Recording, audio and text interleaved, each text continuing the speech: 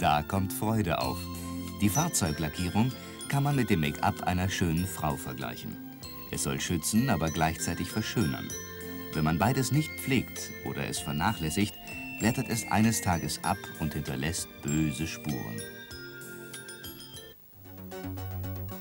Einige beim Auto leichter zu beurteilende Schäden, nämlich Lackschäden, zeigt dieses Videoprogramm. Für die Beurteilung von Lackschäden muss zunächst einmal der gesamte Pflegezustand des Fahrzeuges berücksichtigt werden. Regelmäßige Lackpflege ist genauso wichtig wie Ölservice und Inspektion. Zur Unterstützung des Beurteilenden hat der BMW-Kundendienst eine umfassende Arbeitsunterlage geschaffen. Bei den einzelnen Passagen wird immer wieder darauf Bezug genommen. Grundsätzlich gilt, die Karosserie wird immer als Komplettteil mit angebauten Klappen, Türen und Seitenteilen bearbeitet. Daraus ergibt sich, dass ein Lackfehler nicht nur auf den horizontalen Flächen, sondern auch an allen übrigen Stellen sein kann. Bei Umweltschäden beschränkt sich der Befall auf die horizontalen Außenflächen. Leider treffen Decklackschäden durch Umwelteinflüsse alle Autos, sind also keineswegs nur bei BMW zu finden. Gerade diese Umwelteinflüsse haben bei den Lackherstellern und den Automobilherstellern zu immer neuen Versuchen und Verbesserungen geführt. Einige grundsätzliche Einflüsse ergeben sich durch Industrieklima mit relativ hohem Gehalt an Säuren, chlorhaltigen und alkalischen Verbindungen. Hochgebirgsklima ist besonders reich an ultravioletten Strahlen und weist sehr starke Temperaturunterschiede auf. Sand, Granulat, Streusalz ergeben besonders starke mechanische und korrosive Beanspruchungen. See- oder Meeresklima wirkt stark korrodierend durch Salz- und Feuchtigkeitsgehalt der Luft.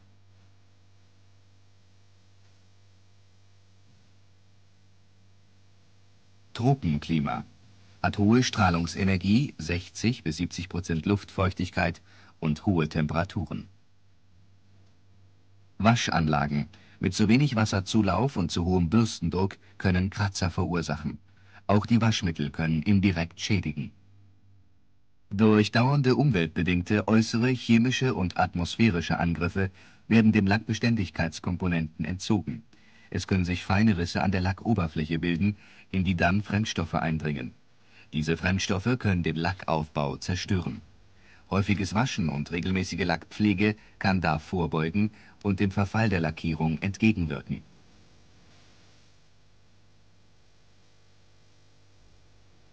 Beim Waschen darauf achten, dass nur rückfettende Shampoos verwendet werden, sonst kommt es zu Abwaschungen im wahrsten Sinne des Wortes. Das rückfettende Shampoo baut hier vor. Gut gepflegte Lacke sind wasserabweisend, elastisch und glänzend. Tropft das Wasser nach der Wagenwäsche nicht mehr ab, dann muss der Lack mit einem Konservierungsmittel neu konserviert werden. Dazu sollen nur Hartwachse verwendet werden, die sogenannte Carnauba oder synthetische Bestandteile enthalten. Diese sind besonders hart. Carnauba ist ein Baumharz.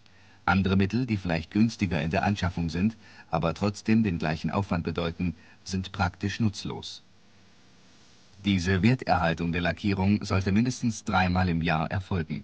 Ein Mehr nach besonderer Beanspruchung schadet hier nicht. Lackschäden welcher Art auch immer sollten schnellstens repariert werden. Hierzu gibt es ein gesondertes Videoprogramm. Es gibt viele Ursachen für Lackschäden und nur wenn man die Ursache kennt, können Schäden auch fachgerecht beseitigt werden. Mit dem Lackprüfset ist erst einmal die Voraussetzung zu einer fachlich richtigen Analyse gegeben. Das Lackprüfset besteht aus dem schichtdicken Messer,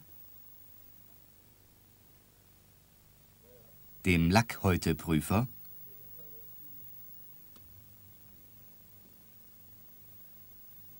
der Lupe, dem Alpha-Cutter,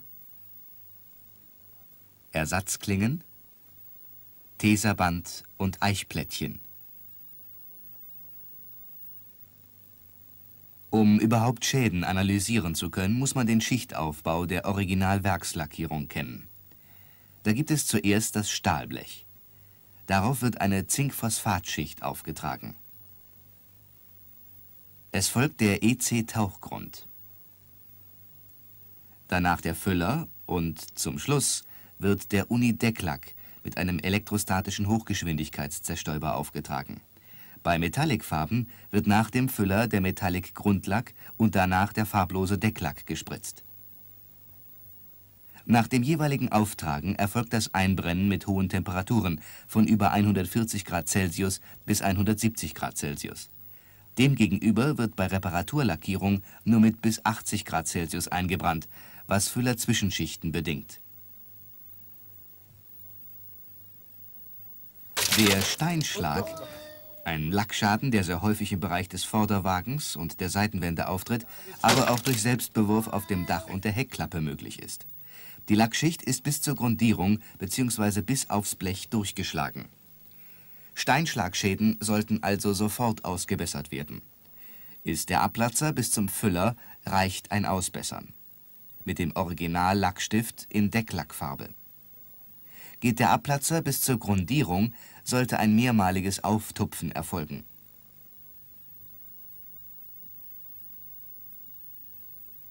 Sieht man schon eine Rostbildung, wird der vorhandene Rost, Schmutz oder lockerhaftende Lack entfernt und die Schadstelle mit Rostumwandler, Füller und Decklack ausgebessert. Ist im Bereich des Türschlosses der Lack abgeplatzt, ist dieser Schaden durch Schlüssel verursacht. Rost, der größte Feind des Metalls. Es gibt eine spinnennetzartige Unterrostung. Vor der Beschichtung oder beim Schleifen des Tauchgrundes wurden Stellen bis aufs Blech freigelegt und nicht richtig isoliert. Auch Salzeinwirkung und hohe Luftfeuchtigkeit, beheizte Garagen verstärken diese Korrosionsart. Wenn Blech ganz durchrostet, dann geschieht das meistens von innen nach außen.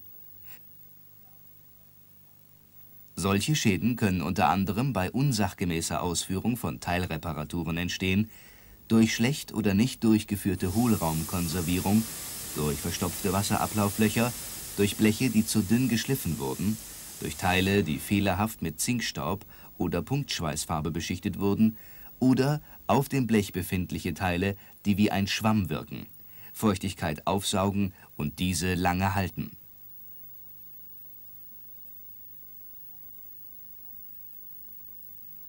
Dann gibt es noch die Falz- und Kantenkorrosion.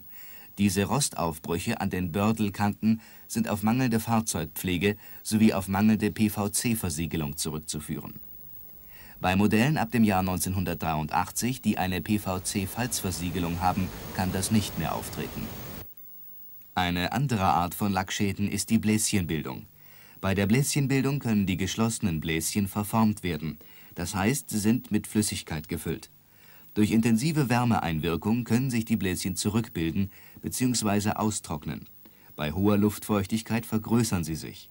Entstehen können sie durch kalk- und salzartige Schleifwasserrückstände oder auch durch Handschweiß zwischen den einzelnen Lackschichten.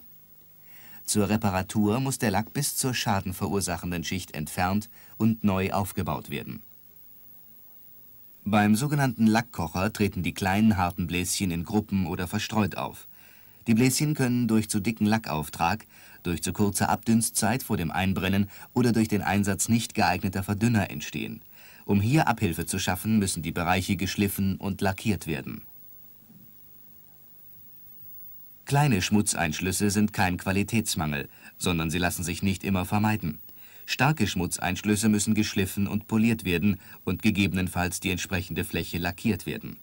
Bei Metallic-Lackierungen haben wir das gleiche Erscheinungsbild, jedoch von Metallpigmenten, die sich nicht richtig in den Lackfilm eingebettet haben.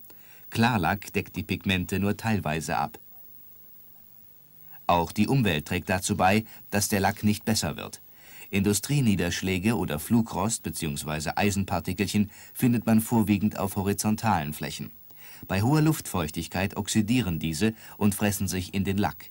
Wenn Flugrostentferner, zum Beispiel Abomar, und darauffolgende Konservierung nicht helfen, muss nachlackiert werden. Auch durch Ölruß und schweflige Säure wird der Lack angegriffen. Punkt- bzw. tropfenförmige blau-grau Verfärbungen entstehen durch Ablagerung von Ölruß und schwefliger Säure. Vorbeugen kann man da nur durch häufiges Waschen und Wachsen. Eine spritzerartige Braunverfärbung, die überwiegend im Bereich der Radausschnitte auftritt, wird von zu spät entfernten Teerspritzern verursacht. Begünstigt durch mangelhafte Pflege können die Teerspritzer in den Lack eindiffundieren. Abhilfe schaffen kann man hier nur mit handelsüblichen Teerentfernern und anschließendem Wachsen. Auch das Kraftfahrzeug an sich sorgt mit verschiedenen Materialien für Farbveränderungen. Da gibt es eine Lackverfärbung durch ATF-Flüssigkeit, die wir in der Servolenkung und im Automatikgetriebe haben. Diese Verfärbungen entstehen im Bereich der Motorhaube und der Seitenteile. Sie sind tropfenförmig und haben eine gelbbraune Farbe. Zur Behebung muss die Lackschicht bis zum Füller abgeschliffen werden. Auch der Kunststoff kann zur Lackverfärbung beitragen. Der Weichmacher im Kunststoff kann zum Beispiel bei Fahrschulschildern durch Hitzeeinwirkung in den Lack eindiffundieren. Die sich unter dem Kunststoff bildende Feuchtigkeit unterstützt diesen Vorgang zusätzlich. Großflächige helle Flecken im Klarlack sind auf eindiffundierten Weichmacher aus PVC oder Polyethylenplan zurückzuführen. An den Berührungspunkten von Klarlack und Plane bildet sich eine milchig-fleckige Oberfläche. Auch hier muss zur Behebung des Schadens der Decklack bis zum Füller abgeschliffen werden. Durch Motordämpfe und Abgase entsteht eine sogenannte Vergilbung. Die kann mit Kaltreiniger oder Polierpaste, zum Beispiel Kaito, entfernt werden. Übergelaufener und nicht gleich entfernter Kraftstoff kann durch die beigemischten Farbstoffe und durch UV-Bestrahlung unterstützt die Lackschicht verfärben oder sogar anlösen. Bleibt ein Polierversuch erfolglos, muss der Decklack bis zum Füller abgeschliffen werden auch Bremsflüssigkeit kann örtliche Lackquellen hervorrufen. Hier muss dann der gesamte Lackaufbau bis zum Blech abgeschliffen werden.